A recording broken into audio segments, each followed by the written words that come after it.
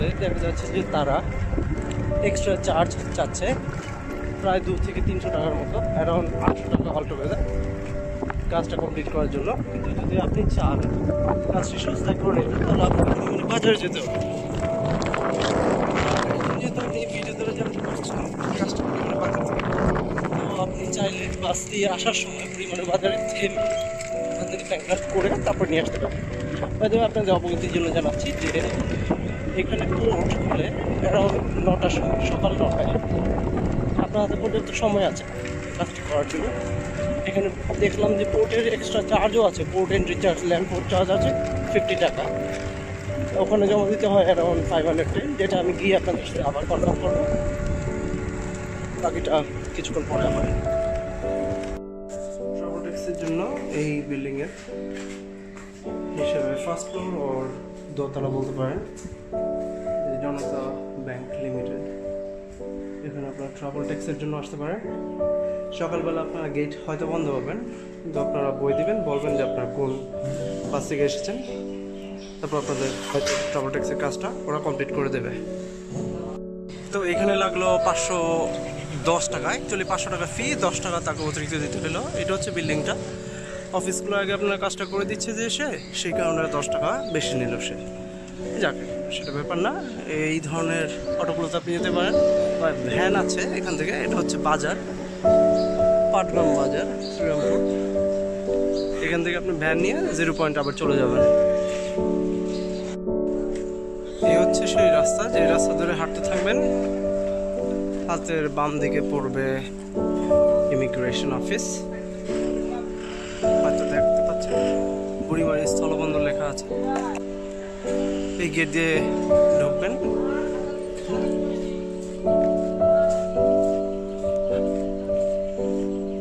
চিনতে না পারলে যে কাউকে জিজ্ঞেস করতে পারেন, আপনি যে বাস থেকে বেরিয়েছেন, সেখান থেকে আপনার হাঁটতে হবে ম্যাক্সিমাম এক থেকে এক মিনিট। হ্যাঁ এক থেকে দেড় মিনিট হতে পারে, যদি আস্তে আস্তে হাঁটেন।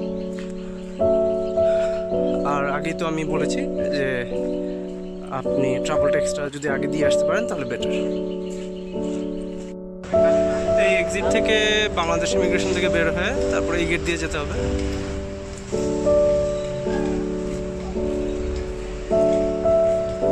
এবং সোজা এই রাস্তা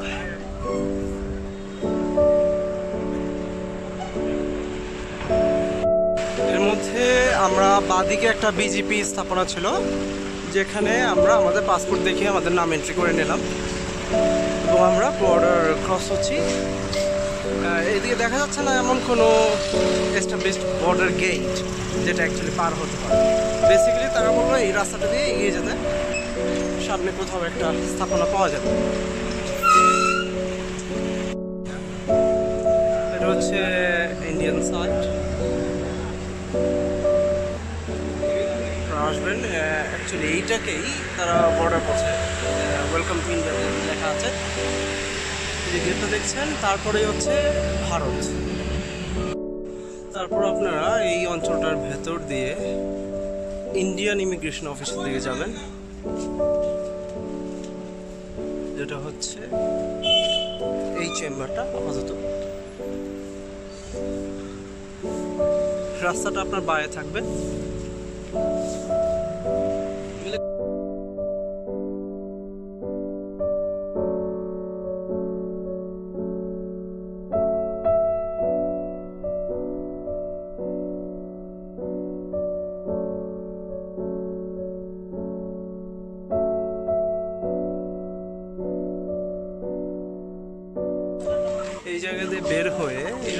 আপনারা চলে আসবেন। এদিকে চলে যাবেন চ্যাংরাবান্ধা বাজার। সেখান থেকে বাস। বাসে চলে যাবেন ময়নাগুড়ি। সেই ময়নাগুড়ি থেকে আপনারা জয়গার উদ্দেশ্যে বাস পেয়ে যাবেন। এখান থেকে যে বাস আমরা উঠব, সেই বাসের ভাড়া নেবে অ্যারাউন্ড বিশ টাকা ময়নাগুড়ি যাওয়ার জন্য। আরেকটি কথা বলে রাখি যে আমরা যে ভারত বর্ডার হয়ে আসলাম, সেখানে আপনার কাছ থেকে পঞ্চাশ টাকা মোটামুটি ডিমান্ড করা হবে, যেটা কোনো সরকারি শুল্ক নয়। আপনি যদি কথায় তাদের বোঝাতে পারেন যে আপনি টাকাটা দিতে পারবেন না এদের আপনি স্টুডেন্ট বা বেসিক্যালি আপনার লজিক্যাল হতে হবে পোলাইট হতে হবে এবং আইন দেখাতে হবে যে হ্যাঁ টাকা দেবো, কিসের জন্য আপনি কি রিসিভ দেবেন? তাহলে হয়তো বা ওই পঞ্চাশ টাকাটা আপনার লাগবে না। কেননা ওই পঞ্চাশ টাকাটা সরকারের ঘরে জমা হয় না, সেটা তাদের ব্যক্তিগত পকেটে জমা হয়। তো সেটা আমি ভাবলাম আপনাদের জানা উচিত। এটা বেশ খানিকটা হাঁটা পথ। দেখতে মনে হচ্ছে অ্যারাউন্ড আপনার দশ মিনিট হাঁটা লাগছে। সাত থেকে দশ মিনিট, যদি আপনি জোরে জোরে হাঁটেন সাত মিনিট। আর আপনি হয়তো দেখতে পাচ্ছেন দূরে বাস স্ট্যান্ডটা। ওখানে আমাদের যেতে হবে ময়নাগুড়ির উদ্দেশ্যে বাস নেওয়ার জন্য। আপনারা এখান থেকে ময়নাগুড়ির বাস পেয়ে যাবেন, এই যে লেখা আছে। বইয়ের দোকানের সামনে বাসগুলো থামে নর্মালি আপনারা নামবেন ময়নাগুড়ি বাইপাস ময়নাগুড়ি বাইপাস হচ্ছে এটা, এখানে আপনারা নেমে যেতে পারেন। বাসটা চলে যাবে। এদিক থেকে এসে বাসটা বেসিক্যালি রোডটা ক্রস করে চলে যাবে, আপনাদের ওখানে নামিয়ে দেবে। যেখানে এখন ট্রাকটা দেখতে পাচ্ছেন। আর এই হচ্ছে সেই রোড যেখানে আপনারা জায়গা যাওয়ার বাস পেয়ে যাবেন। বাস যাবে এদিকে, তার মানে বাসটা আসবে এদিক থেকে। আমরা যেখানে দাঁড়িয়েছিলাম, সেখানে আমরা ময়নাগুড়ি থেকে আমরা গাড়ি পাইনি। আমরা এখন ভেঙে ভেঙে যেতে হচ্ছে ভালা ঘাটার যাচ্ছি।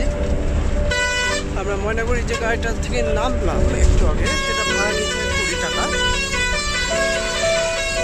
এখন আমরা ভাড়া যাচ্ছি। ভাড়ার ব্যাপারে আপনাদের কিছু মধ্যে অবহিত আমরা এখানেও ওই একই বাসেই আছি। আমরা ময়নাগুড়ি বাইপাস থেকে যাচ্ছি ফালাকাটার উদ্দেশ্যে। ভাড়া নিল চল্লিশ টাকা মানে চল্লিশ রুপি। ওখান থেকে আমরা জয়গাঁওয়ের বাস পেয়ে যাব আশা করি। এটা হচ্ছে ফালাকাটা মেইন রোড, যেখানে আমরা নামলাম। ওই যে ওখানে বাসটা দেখতে পাচ্ছেন। ভাড়া নিল চল্লিশ টাকা সময় লাগল দেড় ঘণ্টা থেকে এক ঘণ্টা পঁয়তাল্লিশ মিনিট। এখন আমরা এই ব্যারিয়ারটা পার হয়ে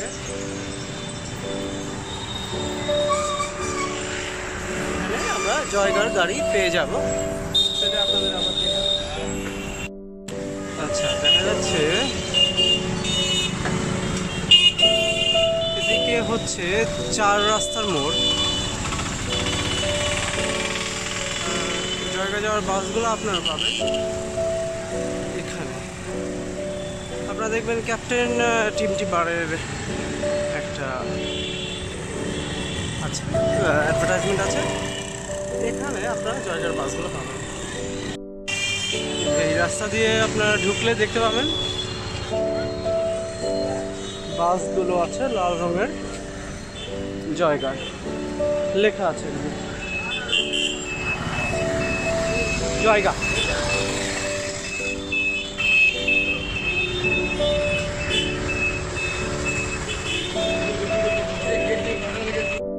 এই হচ্ছে জয়গা যাওয়ার বাস।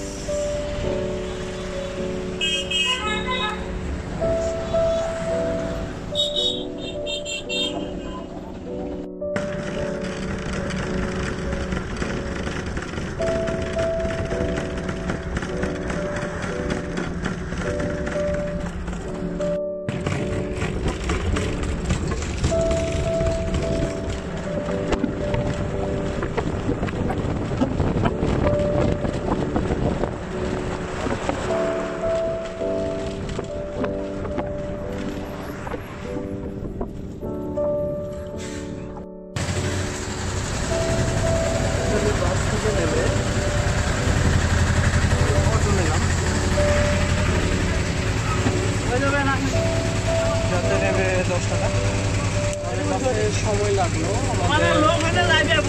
প্রায় দেড় ঘণ্টার মতো খরচ গেছে পঁয়তাল্লিশ রুপি। অটো দিয়ে আমরা জয়গাঁও ইমিগ্রেশন সেন্টারে যেতে পারব।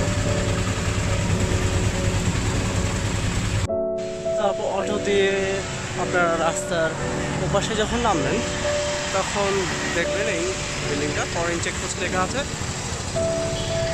জেনারেলি বড় গেটটা বন্ধই থাকে। ছোট গেট দিয়ে ভেতরে ঢুকবেন এবং আপনার কাজগুলো আপনি ওখান থেকে সম্পন্ন করবেন। অটো ভাড়া নেবে দশ টাকা। আপনি এই রাস্তা দিয়ে এসে এখানে ফার্স্ট এন্ট্রি করবেন। তারপর এই বিল্ডিংয়ে এই দরজা দিয়ে চলে যাবেন। ভিতরে আপনার ইমিগ্রেশনের কাজ। ভিতরে আপনার ইমিগ্রেশনের কাজ কমপ্লিট হওয়ার জন্য। তারপর ওখানে আপনার একটি ফর্ম ফিল আপ করতে হবে। ফর্ম ফিল আপ করার পর আপনার পাসপোর্টে ওরা সিল লাগিয়ে দেবে। এই জন্য কোনো ধরনের কোনো টাকা পয়সা দেওয়া লাগবে তারপর বের হয়ে আপনি চলে যাবেন ভুটান গেটের দিকে, যেটা আপনারা কিছুক্ষণের মধ্যে দেখবেন। দুপুরের খাওয়া দাওয়া আমরা এই হোটেলে করলাম। ভেজিটেরিয়ান থালি ছিল, যেটা ছিল ডাল, আলু ভাজি এবং একটা সবজি, সাথে ভাত আশি টাকা বা আশি রুপি। ভুটান গেট তো আপনারা সোজাও যেতে পারেন। আর ইমিগ্রেশন কমপ্লিট করার জন্য বাইরে যে রাস্তাটা, সেদিক দিয়ে যেতে পারেন।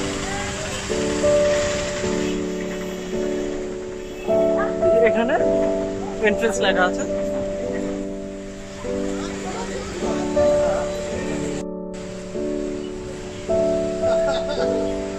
আচ্ছা আমরা সাইড গেট দিয়ে ঢুকলাম, ভুটান গেটের আমরা সামনে ইমিগ্রেশন অফিস আছে, সেখানে যাচ্ছি।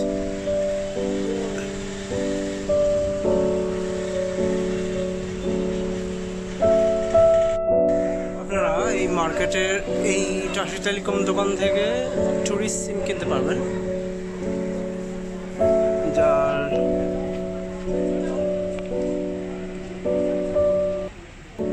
আপনাদের আলাদা করে দিতে হবে। এই মার্কেটটা হচ্ছে ইমিগ্রেশন যেখান থেকে কমপ্লিট করলেন, তার অপোজিটে একটু ভিতরের গলি বাট হেঁটে যাওয়ার রাস্তা। প্রায় এক মিনিটে হেঁটে যাওয়ার রাস্তা। ইমিগ্রেশনটা হয়েছিল এদিকে। আপনারা হেঁটে এই মার্কেটে আসলেন, এবং দোকানটা হচ্ছে এটা। এই সেই ধর্মশালা, যেটার নাম হনুমান মন্দির। দেখতে পাবেন যেখানে আমি রাতটা পার করলাম। ধর্মশালায় উপরে রুম আছে। এক রুমে দু থেকে তিনজন, কখনো চারজন হয়। পার নাইট হান্ড্রেড রুপিস, একশো রুপি করে দিলাম। যদি বিছানায় ঘুমাতে হয়, আর যদি ফ্লোরিং করা হয়, তাহলে আই গেস ফিফটি রুপিস এই ধর্মশালাটা ভুটান গেট থেকে হাঁটার দূরত্বেই। ওটা হচ্ছে মেন রোড আপনারা দেখতে পাচ্ছেন। এদিক থেকে আসতে পারেন ভুটান গেট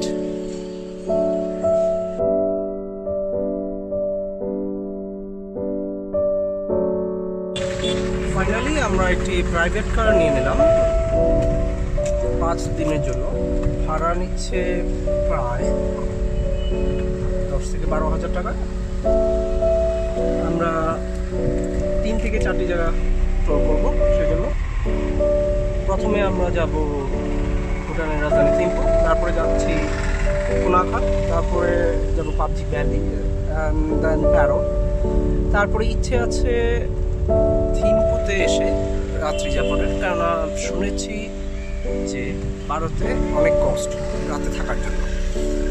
তারপর আমরা থিম্পু থেকে এখানে চলে আসব। সব কিছু হবে, আশা করি, এই গাড়িতেই। পরবর্তী আপডেটের জন্য সাথে থাকুন। আমরা জিরো পয়েন্ট থেকে রওনা হয়েছি অ্যারাউন্ড কোয়ার্টার পাস্ট এইট সকাল সোয়া আটটায়। আমাদের সময় আনুমানিক লাগতে পারে পাঁচ ঘণ্টার মতো। যদি আমরা রাস্তায় যাত্রা বিরতি না দিই। আপনারা দেখতে পাচ্ছেন সাইডে পাহাড় আছে পাহাড়ে অনেক উঁচু উঁচু গাছ আছে। আমাদের এই ট্যাক্সিতে আমাদের যিনি ড্রাইভার ওনার নাম আপনার নাম? রট্টু। এ হচ্ছেন উনি। আপনারাও চাইলে ভুটান এসে তার সাথে যোগাযোগ করতে পারেন। যোগাযোগের নাম্বার আপনারা চাইলে আমি আলাদাভাবে দিয়ে দেব। আর আমরা এই ট্যাক্সিতে আছি তিনজন যাত্রী হিসেবে যেটা আপনারা দেখবেন।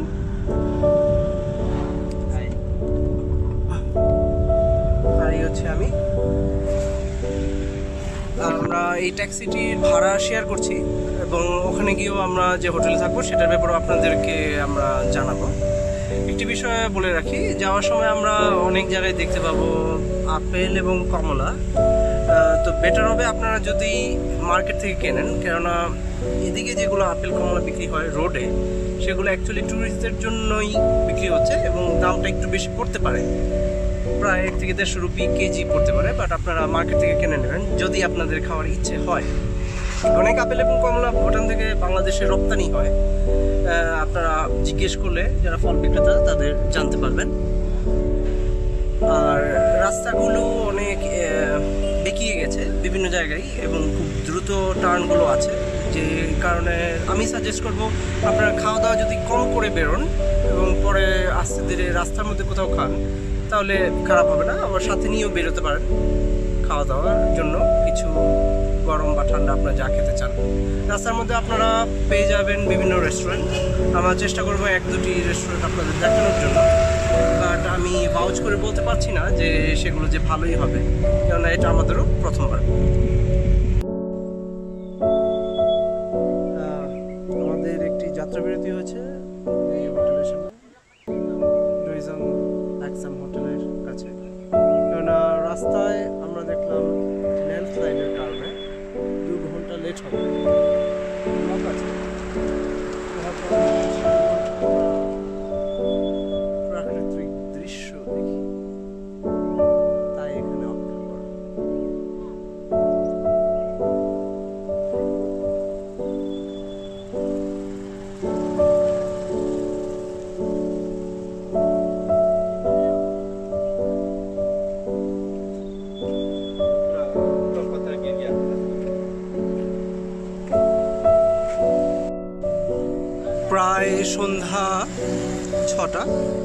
আমাদের যাত্রা বিরতি হয়েছে আবার।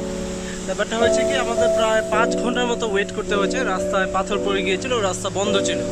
কোনো গাড়ি আসতে পারেনি। সেই জন্য আমাদের অ্যাকচুয়ালি লেট হয়েছে, নাহলে এতক্ষণ আমরা থিম্পুতে থাকতে পারতাম।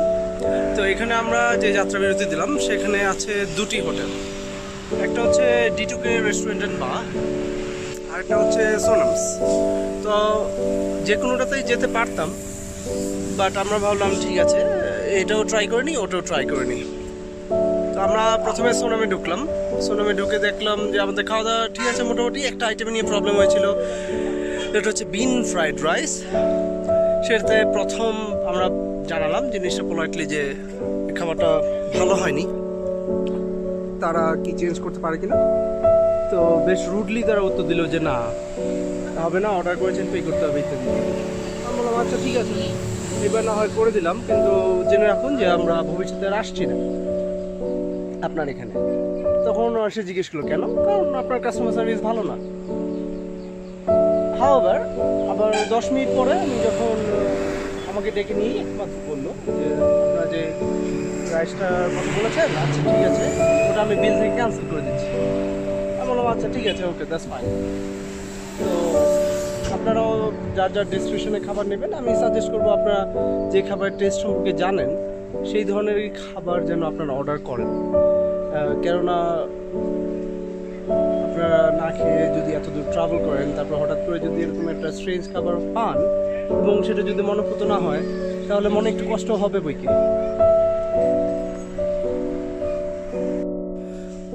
কাল রাত্রেও আমরা এখানে ছিলাম।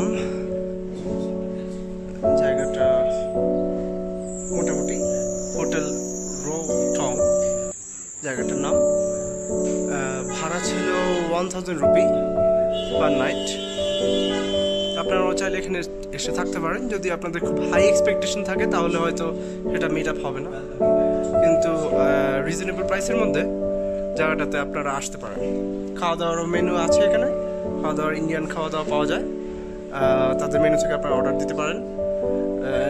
Food quality is decent not bad price wise also quite reasonable. And uh, he's the owner. Uh, your name? Emma. Pema. Uh, I will try to leave his contact number on the details. Uh, thank you. আমাদের যাওয়ার জন্য যে আমাদের permission নিতে হলো সেটার জন্য আমরা অ্যাপ্লিকেশন করে আসলাম পাসপোর্ট আমাদের সাথেই আছে বলেছে দু ঘণ্টা পরে যেতে তো এর মধ্যে আমরা থিমপুর কিছু জায়গা ঘুরে দেখতে যাচ্ছি স্পেশালি দ্য বুদ্ধা পয়েন্ট ये मेमोरी छुट्टी नहीं एक टूर का आइटनर में ये होता है तो एंट्री भी होता है এখন আমরা বুদ্ধা পয়েন্টে এসেছি বলা হয়ে থাকে এটি ওয়ার্ল্ডের সবচেয়ে বড় বুদ্ধ স্ট্যাচু একটু এগিয়ে গেলে আপনার সামনে থেকে ফলটি দেখতে পাবেন যেটি এখন এখানে গাছ দিয়ে ঢাকা আছে ঢুকতে কোনো এন্ট্রি ফ্রি লাগে না আহ, ভেতরে স্মোকিং ইজ প্রহিবিটেড